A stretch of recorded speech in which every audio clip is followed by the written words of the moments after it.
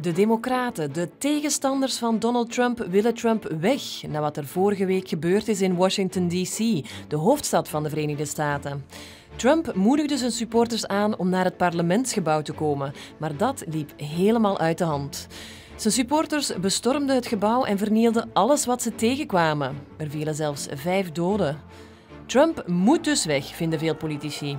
De Democraten zijn daarvoor een speciaal proces gestart. Dat heet impeachment. Ze vinden het belangrijk om het proces toch nog op te starten, ook al blijft Trump nog maar acht dagen president. Wat kan er allemaal met hem gebeuren? Als Trump wordt afgezet, dan mag hij over vier jaar geen presidentskandidaat meer zijn. Zijn tegenstanders zijn dan echt van hem af. Hij kan ook zijn pensioen van 165.000 euro per jaar verliezen.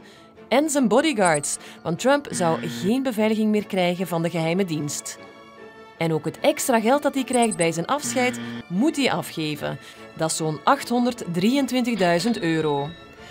Toch is de kans dat Trump wordt afgezet eerder klein, zegt journalist Thomas de Graven, die voor ons in de VS is. Wel, zo'n afzettingsproces duurt heel lang en Donald Trump is maar een week meer president, want volgende woensdag wordt Joe Biden de nieuwe president van de Verenigde Staten. Maar zo'n proces kan ook nog doorgaan nadat Trump weg is en dan gaat het vooral om het signaal dat ze willen geven. Ze willen tonen dat wat Trump gedaan heeft echt niet kan. En hij zou dan ook de geschiedenis ingaan als de eerste president waarbij twee keer geprobeerd is om hem af te zetten. Kijk, leuk dat je deze video bekeken hebt, maar als je nu nog slimmer wil worden, dan zou ik hier ook eens klikken. Doen, hè?